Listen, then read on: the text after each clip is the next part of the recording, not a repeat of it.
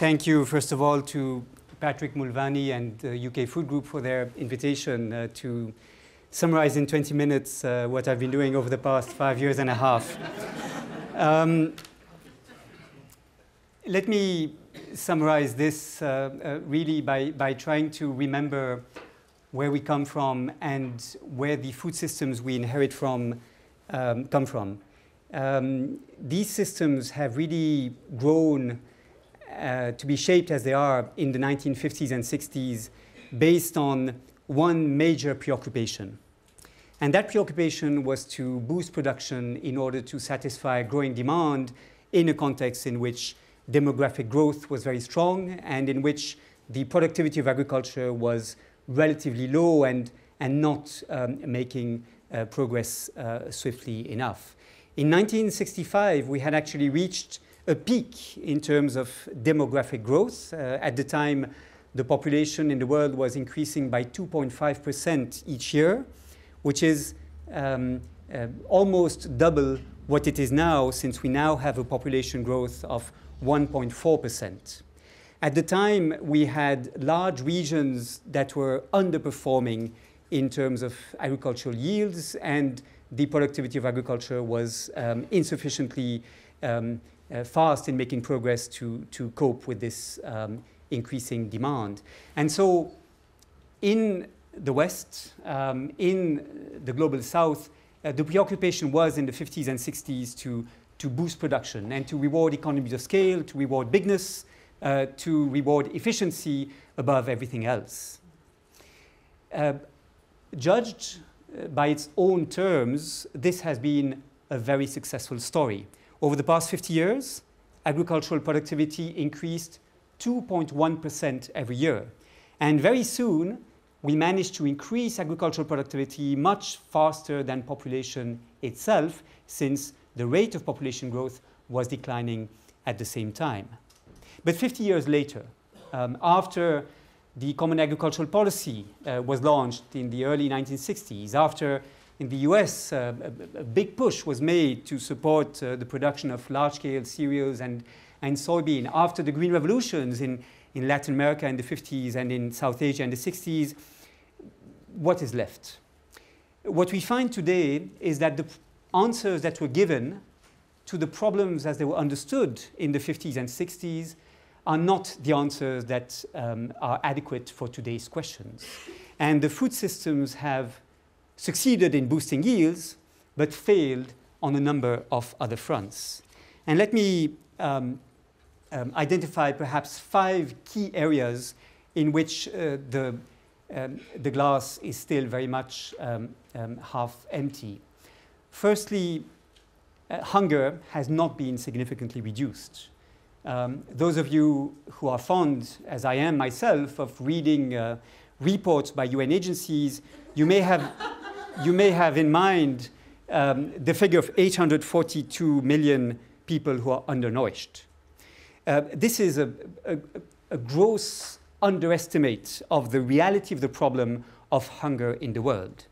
Um, the reason why it's a very serious underestimation is because this is only a measurement of um, an estimated um, lack of calorie availability uh, throughout the year, and um, it is based on a presumption that um, the poor need a, a certain number of calories that correspond to what people need for sedentary lifestyles. Now, we know that many poor people um, perform demanding physical labor. We also know that um, short-term um, food insecurity, short-term um, obstacles in having access to food may have very serious long-term consequences, particularly for the children's uh, physical and mental development. And so, whilst this figure measures undernourishment in the most extreme sense of one year long um, lack of calorie availability if you have a sedentary lifestyle, it is significantly below the reality of the problem. The reality is we have today maybe 1.2 or 1.3 billion people who are still underfed. And that figure has not been significantly reduced over the years. Yes, the proportion of hungry people in the world has been declining, but we still have a very persistent problem of extreme poverty of people unable to feed themselves because of an insufficient purchasing power. And the official figures about declining hunger are ones to be treated with great caution. Secondly, um, it is not enough to provide people with cheap calories. It's also um, important to pay greater attention to the quality of diets. And here, the failure, I think everybody recognizes, has been massive. We have 2 billion people in the world who suffer from various types of micronutrient deficiencies, who lack zinc, uh, um, uh, iodine, uh, um, iron, uh, uh, various vitamins or, or essential minerals. And as a result of this, we have um, uh, people in, uh, affected by diseases which could be prevented by more healthy, more adequate diets. In addition, we have result in a widespread development of non-communicable diseases linked to overweight, obesity, imbalanced diets. Um, uh, the figures are figures you are familiar with. 400 million people are obese in the world today. 1 billion other are um, um, overweight and uh, obesity is uh, reducing life expectancy and is the source of type 2 diabetes, cardiovascular diseases, um, various non communicable diseases that are linked to inadequate diets combined with the shift to more sedentary lifestyles. That's a second failure. A failure to integrate nutrition concerns in the kind of uh, food that is produced because instead of encouraging people to produce food, we've encouraged them to produce commodities for large markets as convenient inputs for the agribusiness industry. Thirdly, the third failure is, um, of course, at the environmental level. In the 50s and 60s, that was not seen as a major concern. Yet, um, agro-industrial production has been the source of um, a huge dependency on, on fossil fuel for the production of food. It's been accelerating erosion and land degradation as a result of monocultures uh, spreading all over. It's been a result of the pollution, it's, it's been resulting in the pollution of water sources and of soils because of the huge, um, uh, often excessive use of nitrogen-based fertilizers and, and pesticides um, on the field. The mechanization of production has, of course, allowed the food systems to be um, um less intensive in labor and in a certain way more competitive, uh, but they have had um, very problematic impacts by encouraging monocultures and creating this dependency on, on fossil fuels um, for, the, for the future. Um, a fourth impact of the systems as they've developed um, is on the use of, of, resources, the, the efficiency with which we use resources. Um, as Patrick Mulvaney very kindly um, uh, reminded us, I produced a report on on the fishing industry and the right to food and how um, fishing had been, had been developing, the new techniques that were being used, uh, the subsidies that were going to, to subsidizing industrial fishing uh, methods, and the competition between small scale artisanal fishers on one hand and large industrial fish trawlers on the other hand. And in that report, I identify overfishing, inter alia by the use of new fishing techniques, as a very serious problem as fish stocks are being depleted, a problem that is, of course, magnified by climate change and uh, the acidification of oceans. Now, I regret that there's one report I have not written, maybe in the future, and that is on industrial livestock. My final report, however, shall be quite comprehensive on that issue, very much in parallel to the issue of fishing. Industrial livestock production is unsustainable from the environmental point of view and is diverting scarce resources in terms of cereals produced to feeding livestock in ways that are completely inefficient. Just picture that by 2050, 50% of cereals produced in the world will go to feeding animals. Um, in um, a report prepared in 2009, the FAO projected that whilst in 2005, 2007, we, we were producing some 200 million tons of meat per year, to match the growing demand for meat, we would need to produce 470 million tons, um, more than doubling uh, the, the current levels of production. That, to me, is entirely unsustainable. And I believe that although there are ways to produce meat more efficiently, um, with a less important ecological um, uh, footprint or um, or, or hoofprint, as, as uh, some have written, um, there's no other way than to reduce the consumption of meat. Um, in our countries, in the EU, uh, the average um, consumption of meat per person is about 95 kilograms per year per person. It's 120 in, in the US, in Australia, and New Zealand. Um, it is 60 in China. We should move towards some 30, 33 kilograms per year per person as a global average for meat production to be, to be sustainable given the resources that, uh, that we have. And it is an issue that in my final report I, I spend some time on. Um, fifth and finally, the food systems that have developed under this productivist paradigm of the 50s and 60s are food systems that have not been equitable from the point of view of their impacts on respective levels of incomes in rural areas in developing countries. In the north, of course, we know that they've led to the disappearance of many small farms and the depopulation of rural areas. In the south, the consequences have been even much more dramatic because the farmers that have been displaced, the small farmers that um, could not be um, um, um uh, winning in the system, rewarding the most competitive producers, these farmers have not been given any alternative because of a lack of qualifications and because of insufficient employment opportunities being created in the services and the industry sectors. These farmers have basically been confined to subsistence agriculture because of a lack of support to small scale family farming. And it is still uh, there in the rural areas in developing countries that um, extreme poverty is most widespread. The reason for this is very simple. Um, we've been focusing on economies of scale, on efficiency, on global markets being provided with enough stuff for the food industry to, to respond to, to demand, and we've forgotten about the need for agriculture to also contribute to rural development and the reduction of rural poverty. Um, the result is that many poor countries have been caught into a sort of vicious cycle as more and more impoverished farmers were forced to migrate to the cities. And this began in the 60s and was accelerated in the 1980s as the states retreated from agriculture under structural adjustment programs. The governments in these countries had no choice but to import more subsidized food from international markets, heavily subsidized by OECD taxpayers' money, and it was for them a very convenient solution to um, develop this addiction to cheap food dumped on international markets as a result of our policies in the north, not least the common agricultural policy in the, in the EU.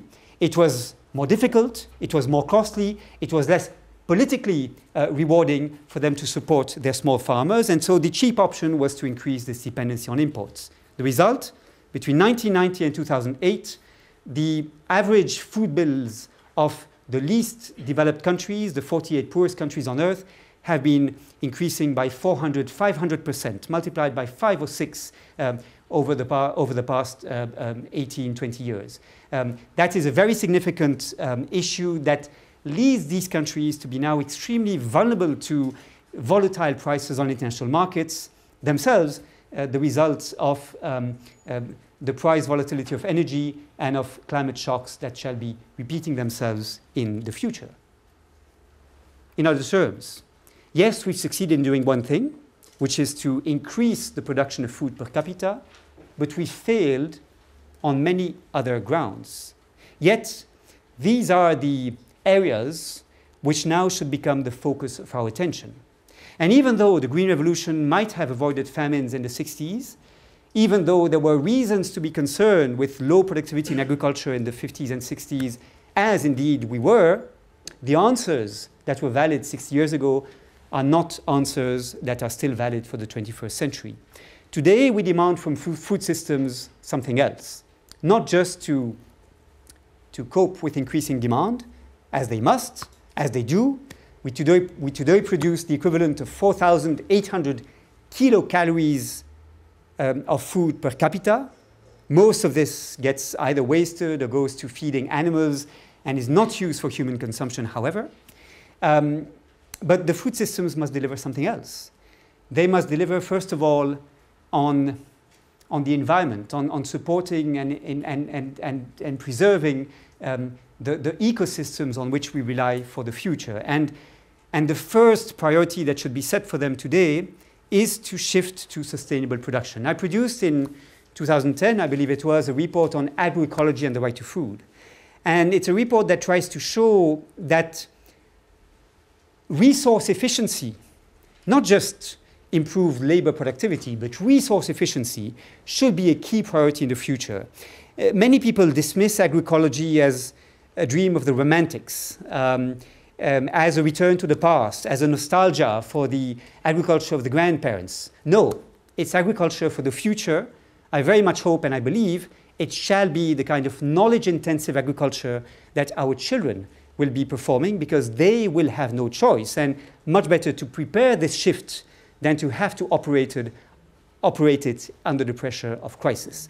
Agroecology is a, is a sustainable way of producing food by understanding how nature works, by understanding the interactions between trees, plants, and animals, by replicating at field level the natural complementarities that we see in the, in the natural systems. And it is demanding because it requires training, it requires knowledge, it requires uh, contextualized solutions, and it, it requires knowledge to be spread from farmer to farmer in horizontal ways rather than techniques being imposed top down. But it is the future, and it is certainly for um, poor farmers in the global south who cannot afford to mortgage their land and to buy um, at high prices their inputs, it is certainly a more sustainable and less expensive way of practicing farming. A second um, uh, demand that um, we have today for food systems is a demand for sustainable consumption. This has largely been a taboo. Um, yes, sustainable consumption was referred to in the, um, the Rio Declaration adopted in, in 1992. Uh, it was reiterated uh, much more powerfully in, in Rio Plus 20, the conference on, uh, on uh, sustainable development that took place in June 2012, but it still is largely unaddressed. And let me take three examples. Um, first, overconsumption of meat in rich countries um, which is only possible because we have the purchasing, purchasing power in Europe, in the US, um, increasingly elsewhere, that allows these populations to use massive areas of land and water that exist in the global south to feed their increasing demand for meat. If we had a more equitable distribution of resources, we would not have the luxury demands of the richest compete against the basic needs of the poorest. Yet that is what is happening in a globalized food system in which um, um, people compete for, for land, uh, water, um, as we see when we look at the huge impacts of soybean production, for example, on the Latin American continent to feed animals in the, in the global north. Um, a second illustration of this is, of course, uh, the increased demand for liquid biofuels. Um, that is a battle unfortunately, I, that still is to be won, right? I was going to say is lost. No, not at all. It still is to be won.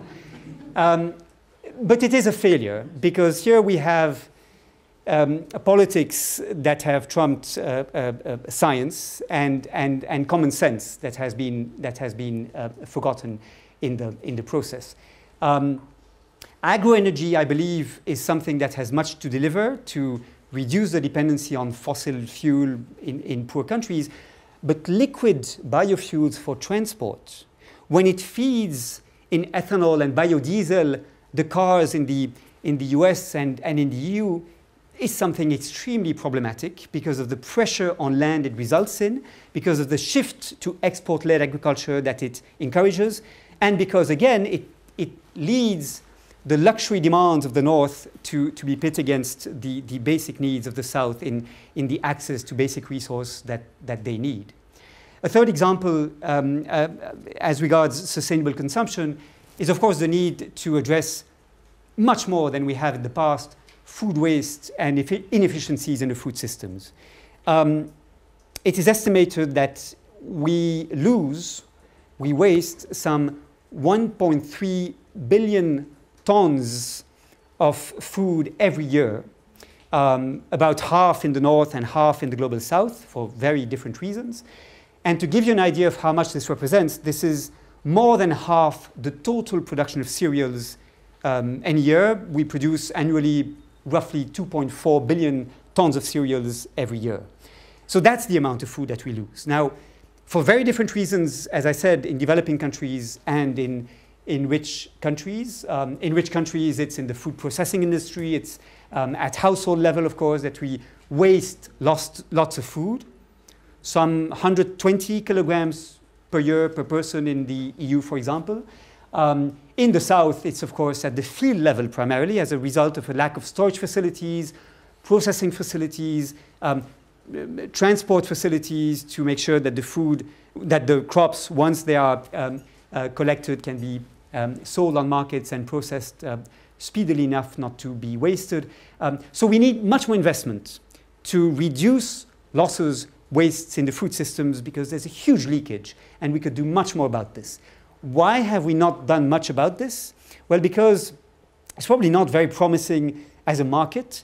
Um, it's probably not very interesting to many major economic actors to support um, that, uh, although it would be the, a, a very um, economical way um, to addressing uh, what some fear uh, is a mismatch between supply and, um, and demand.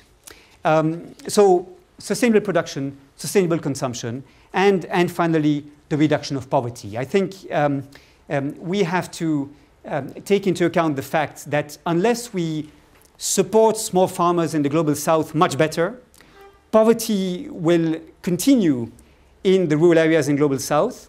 The rural to urban migration will continue, and this vicious cycle I've been describing, that is characteristic of the situation of many poor countries, will continue to make obstacles to change. Now, here there was a real debate as to what is best for small farmers.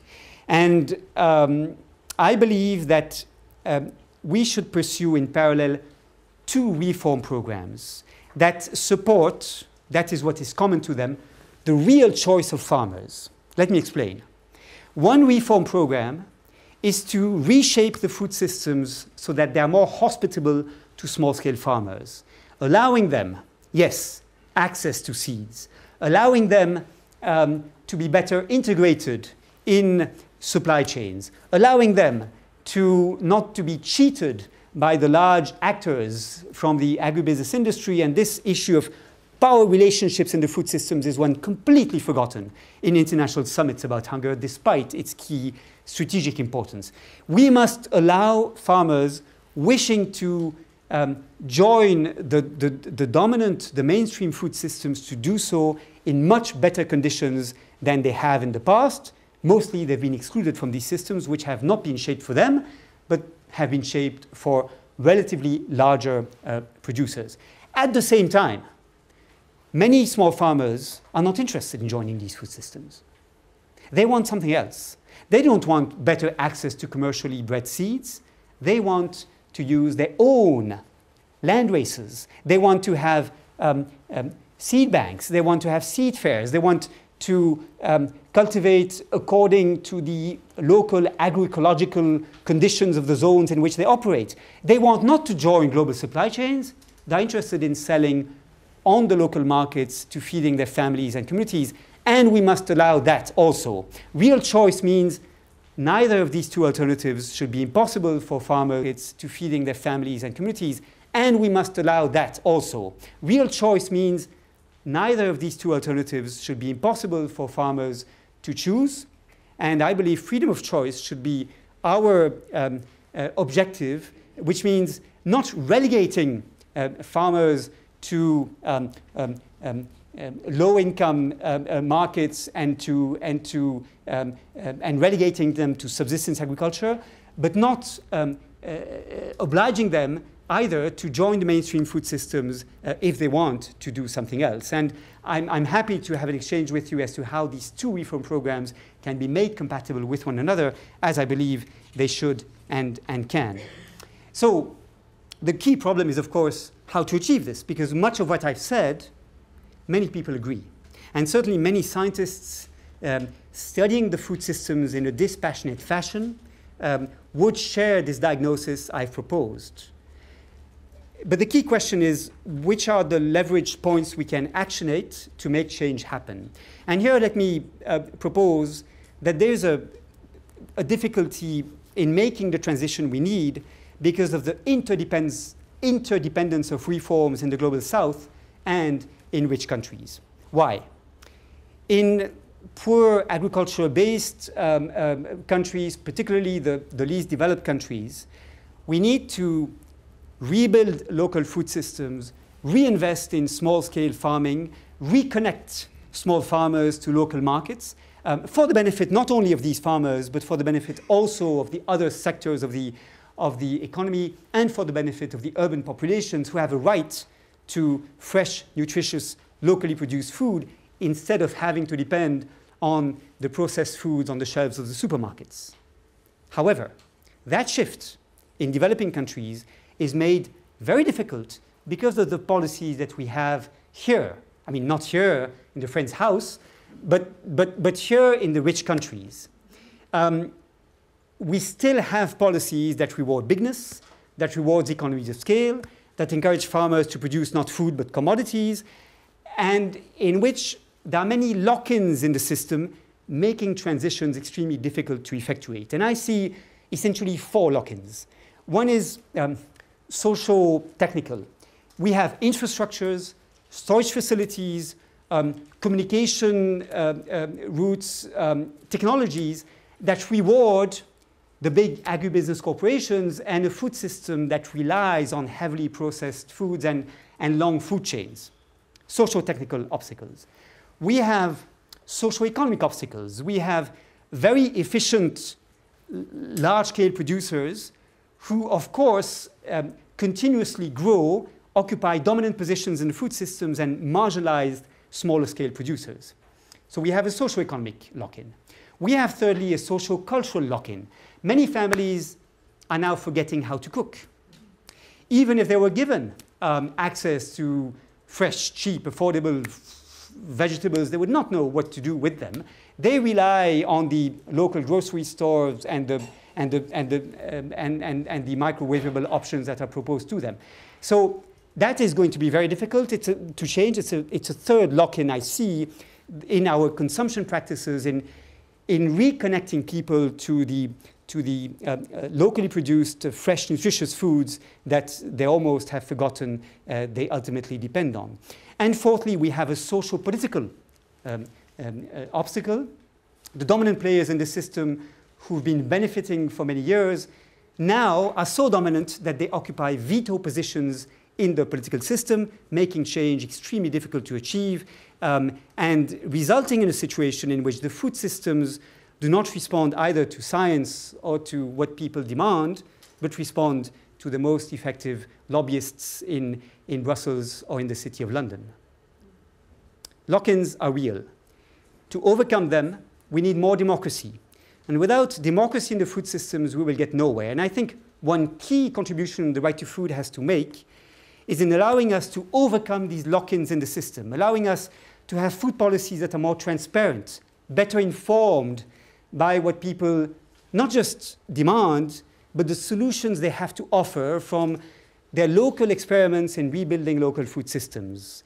This is why I put many hopes in uh, food policy councils developing. I put many hopes in municipalities taking interest in farmers markets developing, in, in school feeding programs developing, in local school canteens um, buying from local producers. I think much can be done at the local level to rebuild some sense of ownership of the food systems and, and ensuring that solutions can, can emerge from people understanding the local resources they can mobilize to rebuild local food systems that have largely been um, underdeveloped in the past uh, 50, 60 years.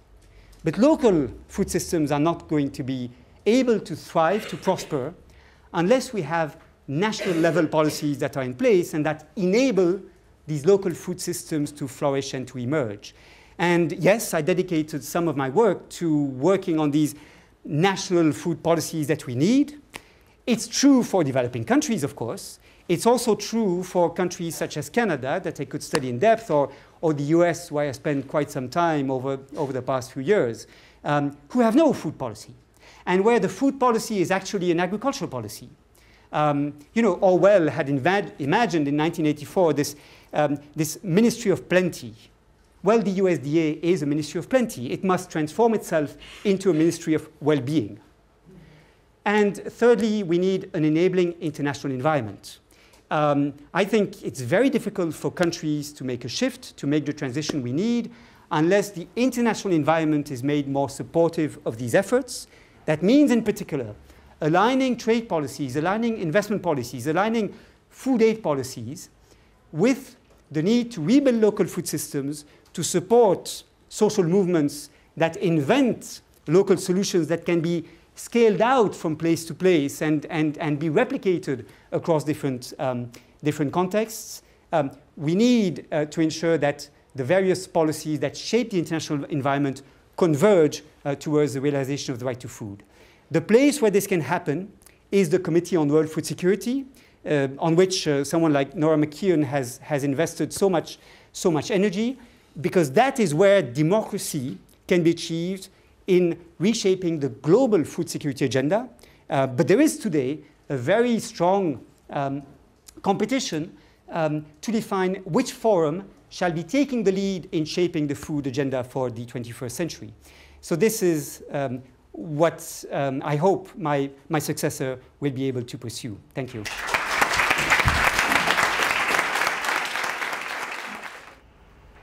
It gives me enormous pleasure to introduce our next speaker. In uh, June, it was, I think, uh, Via Campesina had its sixth international conference in Jakarta. And uh, during the course of that conference, there was one of the most wonderful mysticas of La Via I've ever seen, where the baton of the Secretariat, the International Secretariat, passed from the Indonesian Secretariat, Henry Saragih, to the new Zimbabwean Secretariat with Elizabeth Mpofu.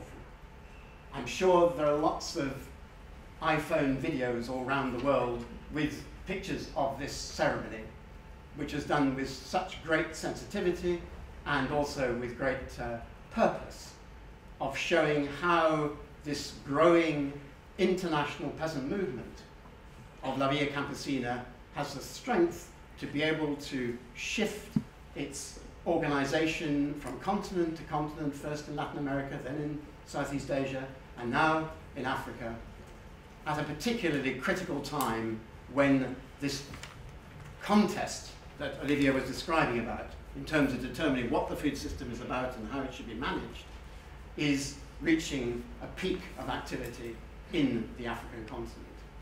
So I would like to give you the floor, Elizabeth, to describe to us some of what you think are the challenges and the opportunities. I give you the floor.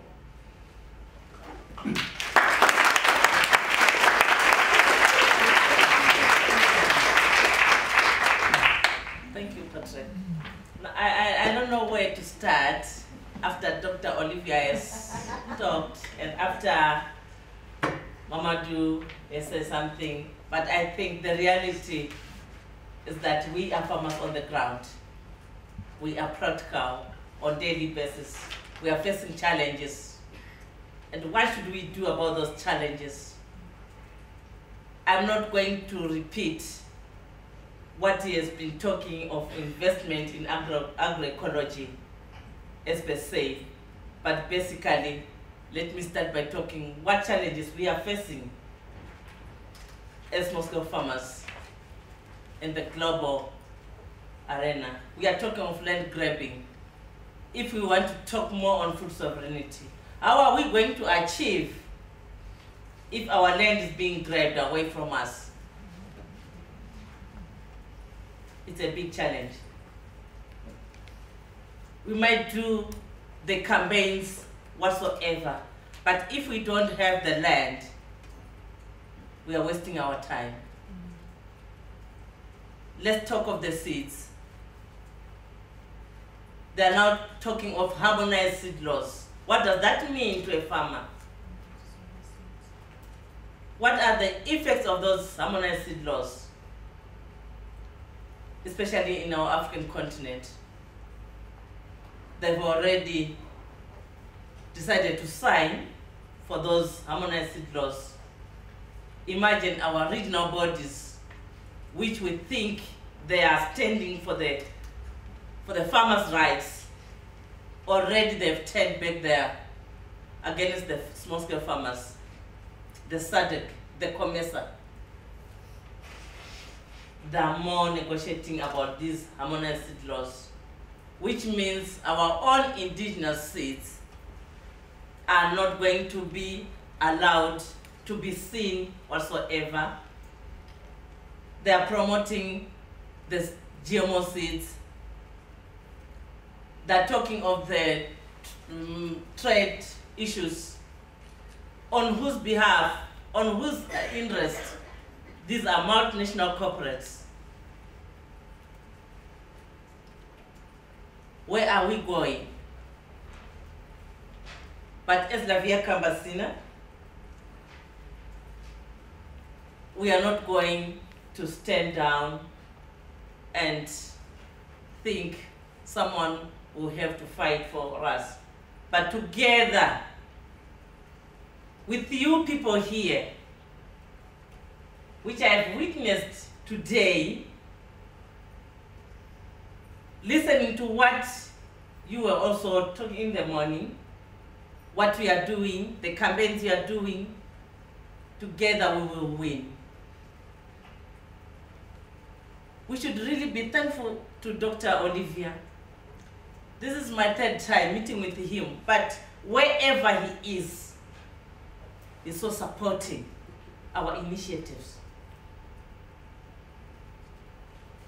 We know are challenges of the climate change.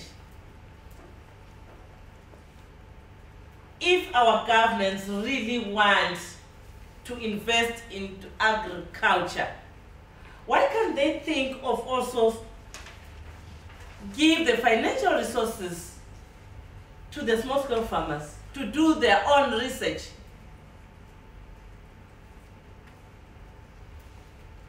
And also to promote the technologies. We know we can do it, like agroecology farming systems. But you find out these huge amounts of money is, is being given to research institutions which are biased to the media sectors, which doesn't even cover our own histories of farming systems, our own traditional knowledge of farming. So I think, ladies and gentlemen, we have a big role to play in campaigning for our rights and even to tell the UK government that we really need those funding partners to support the small-scale farmers in whatever initiative they are doing. We know we are not being recognized globally, that we are taken to be people who don't know what they are doing. We cannot produce, but the majority of the food producers are in the rural areas, especially in Africa. And a bigger percentage, we are the women who are producing more food. 70% of the food is being produced by women. But when it comes also to leadership, very few women are given that opportunity to lead the process. That is another challenge. Now, as Patrick has just introduced the, the coming of the IOS of La Via Campesina in Zimbabwe. I think there was a big reason why that decision was made. My organization, Zimbabwe Smallholder Organic Farmers Forum, is very new and very little. But the reason is because of something which other people don't like to hear, the issue of land reform which took place in Zimbabwe. Because we have been hearing, you have been hearing so many stories regarding the land reform, land distribution, which happened in Zimbabwe. Some might think, okay, that was not the, uh, the way it should have been done. But ah, no, it was a radical thing. Yes, totally, it was so radically performed. Why? Because after the war, our president took time thinking that the negotiations were going to be exercised, but after 20 years, we thought, okay, it's now high time. Our fellows died, our comrades died, our brothers, our sisters. Then is, that was the decision made by the people themselves just to go and occupy the land. And what do you think the president could have done? There was no option rather than to support. And now, hearing so many stories in the world, like Via Campesina, looking at how people are now being taken away from their land and the land being given to the investors, there was now need to support the farmers in Zimbabwe to showcase. It was not so easy because we had some international delegations from La Via Campesina, from Mexico, Brazil, from USA, coming to Zimbabwe to witness exactly that they are farmers who got their pieces of land. Although we didn't get enough support from the government to till the land, but we are managing. That is why we are saying we will struggle, we will fight, against the land grabbers in Africa and at global level. I think I'm not going to waste much time. A lot has been said by Dr. Uh, Olivier. But lastly, I think it was my great opportunity. And I would emphasize, as many as you are, let's go on the ground. Let's mobilize more organizations, come together, build a very big network. Then look at the campaigns we are moving towards to. I know there are farmers here, although they are not going to have time to talk, but they are there. They have issues which are burning we are together, ladies and gentlemen. Let's fight together until we win our struggles.